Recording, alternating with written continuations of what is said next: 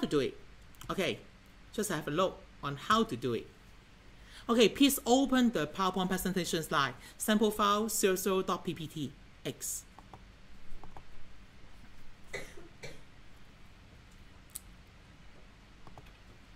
Don't worry, I will. I have already recorded the whole session. You may just uh, simply follow my steps, okay, and and and and go back to your desk and practice the, uh, the the the steps, okay, with the sample file, okay. So as you can see here, okay, I have uh, two pictures, okay. The second one and the third one, right? The second first one is the apple, and the third one is a picture which is a, a cup of hot tea, right? So how to make the effect I just teach you. Okay, just have a look on this picture, a cup of hot tea. Okay, just simply select this graphic and then drag and drop and move in this way. See what happened. See what happened. As you can see here, this graphic is actually it is hollow, right? No, it's not okay. It's hollow. That means uh, the, the, the, the center part, the graphic itself is transparent, right? You can see through okay the uh, the graphic and then can see the background of the uh, of the working environment, right? So that means okay the first thing you need to do is to how to make this graphic a holographic okay that means that you just uh, make the graphic transparent on a piece of shape okay this is the point number one and the second point is that to control C to copy this graphic and then go to second slide control V paste on top of this slide just like this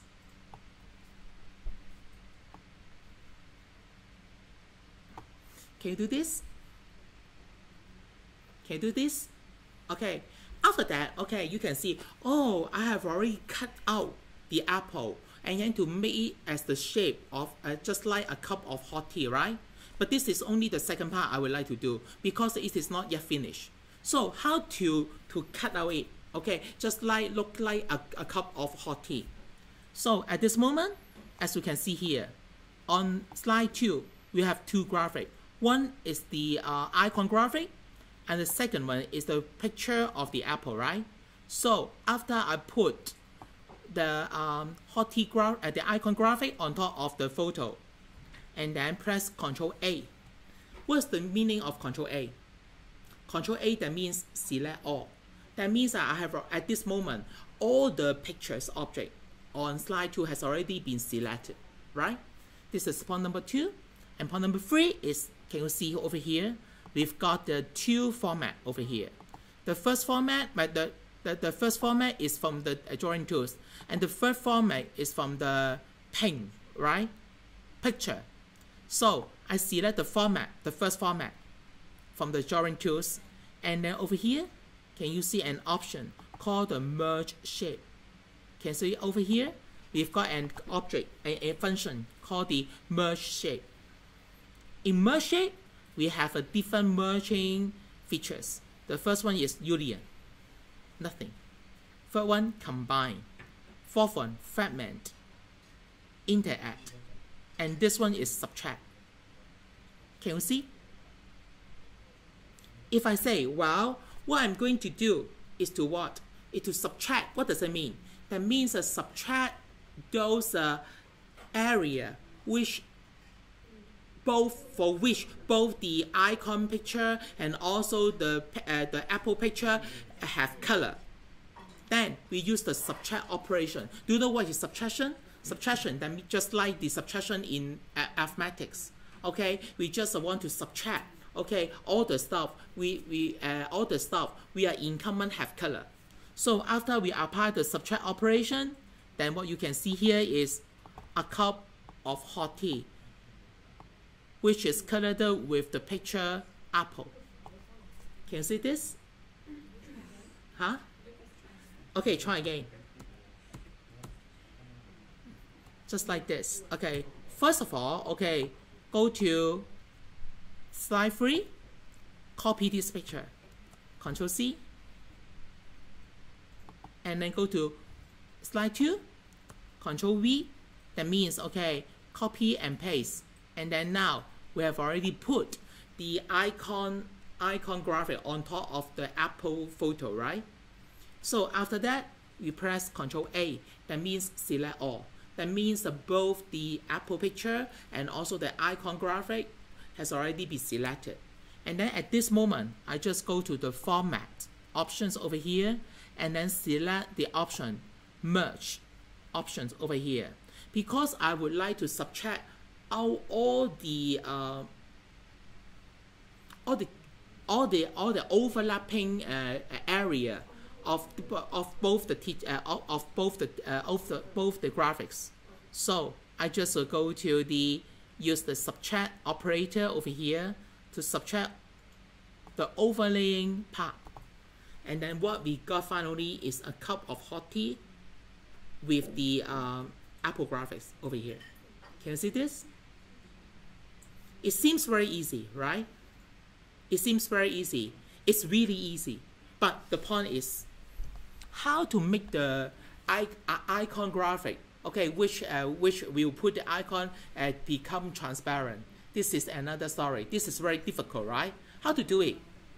So now I have already made a cup of hot tea with an Apple graphic. So the thing is how to make this iconic graphic. This is another story, right? So how to make it? Okay.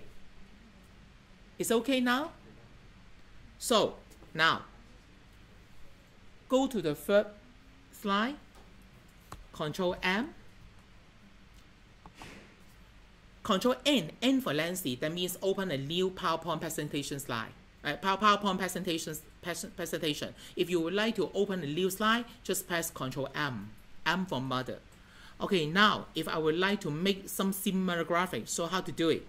Very simple. Okay, first of all, go to Insert. Over here, we've got something called the Shape. And then go to Shape, you just select the rectangle. And then over here, just draw a rectangle on the slide, just like this. And then, okay, we have already made a rectangle, okay, on top of this slide. If I would like to cut out an icon, okay, on this rectangle, so how to do it? The method is very simple. Now, I would like to introduce another features, a new features in 2016.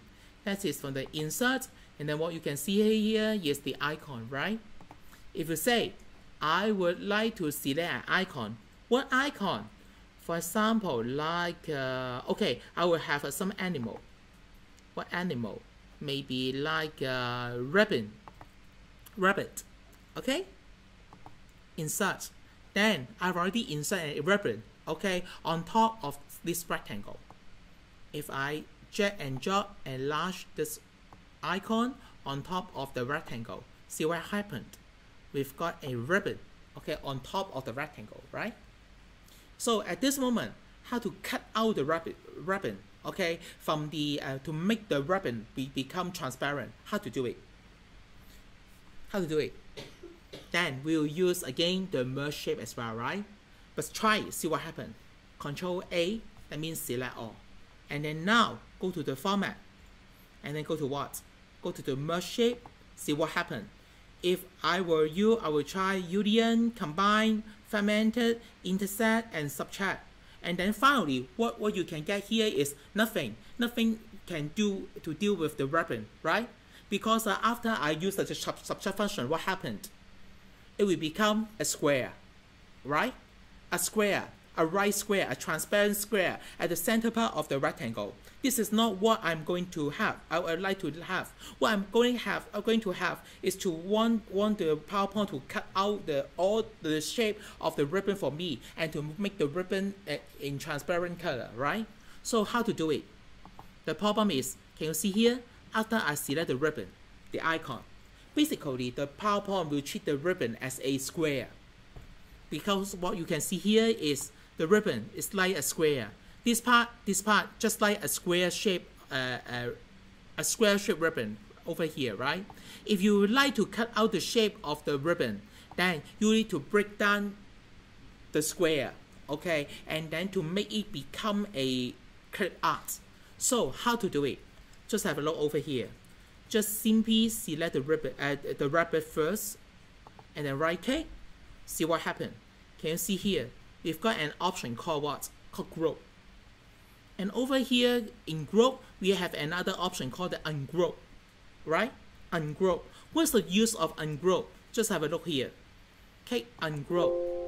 And then it will ask, okay, this is an imported picture, not a group. Do you want to convert it to a Microsoft Office drawing object? Then I say yes. And then what I got finally is a ribbon, a, a rabbit as, as well. However, is it okay now? Just try. Control A again, and then go to Format,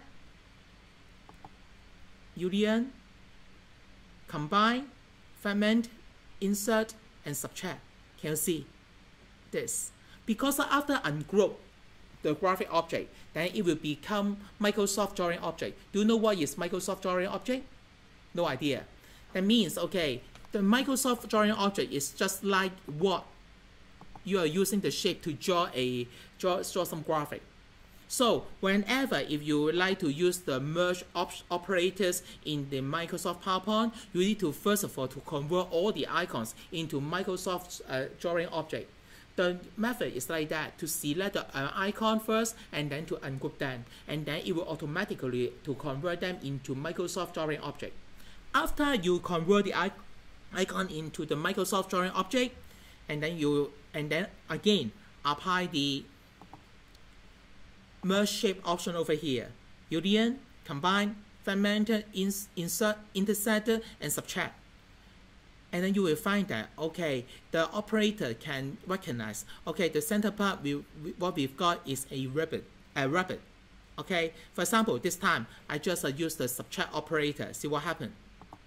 After I apply the subtract operator, then what I got here is a rabbit and then the rabbit will become transparent.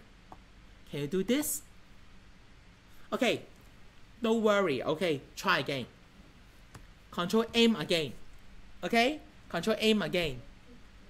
To make a, another graphic. Okay, now, for example, insert again, use the shape, draw a rectangle over here.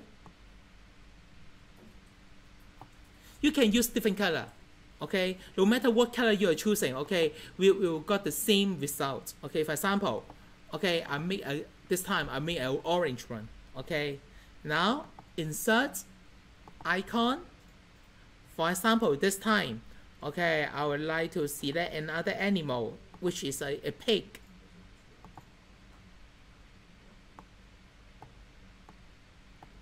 a pig